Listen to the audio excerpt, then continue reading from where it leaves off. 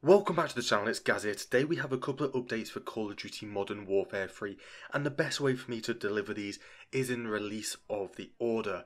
So yesterday there has actually been a leak for a new operator for Call of Duty Modern Warfare 3 and this is part of the Little Caesars and Call of Duty's Modern Warfare 3 promotion which begins on November the 1st. So this is actually a leak and um, it's a bit risky if I put this on screen so I will just leave a link down in the description below. Basically, it's a just a basic soldier skin in orange, and he's basically got some pizza bits hanging on him, some fries, that kind of thing that they sell at this establishment. So I will leave it linked down in the description below. But one of the next things that I do need to mention is about the XP that you earn inside of Modern Warfare 3. So you probably know from Modern Warfare 2019 and Modern Warfare 2, you get your XP tokens and you can really only use them on them games.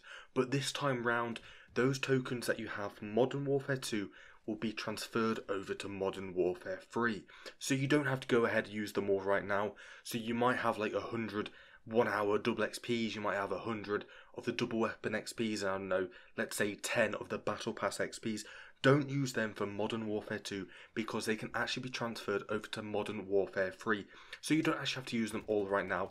And when the game does release in just a couple of weeks' time, then you will get that head start on everybody else. So save them up and use them in Modern Warfare 3 because that's where it's going to benefit you the most.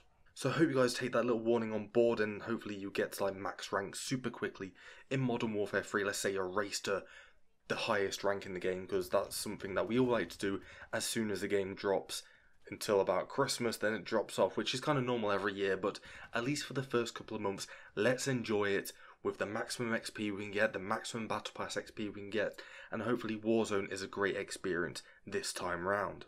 So if you've enjoyed this informative video, then make sure you let me know down in the comment section below. Are you guys going to be getting Modern Warfare 3? You're going to be playing the campaign early access? Then make sure you let me know down in the comment section below. If you're new around here, then make sure you hit the subscribe button with the bell notification turned on so you never miss another Call of Duty Modern Warfare 3 video moving forward. Just like I've mentioned, make sure you leave your comments, hit the like button, leave your little subscribe on this channel, and I'll see you all in the next video. Slash, Gaz, and I'm out. Peace.